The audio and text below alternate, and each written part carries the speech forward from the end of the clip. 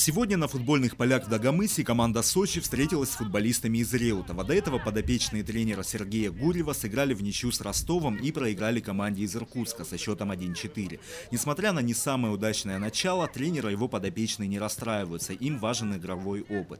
На этом этапе состав сочинцев слабее, ведь лучших игроков из этой команды после первого этапа турнира пригласили играть за один из сильнейших клубов России – ЦСКА. Двое ребят, да, второго-третьего года наших забрали в ЦСКА играют. Вот у нас целая плеяда там, мальчиков 8 играет в ЦСКА с нашей команды, поэтому стараемся, работаем.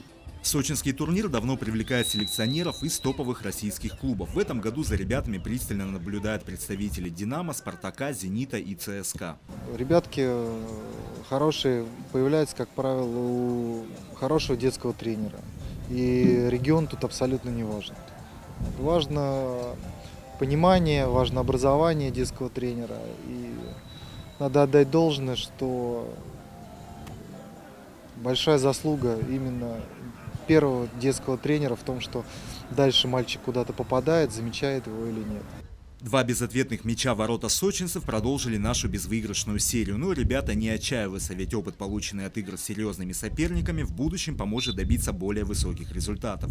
Победители же второго этапа турнира назовут 7 апреля. Игорь Кырпа, Борис Осин, телекомпания ФКТ.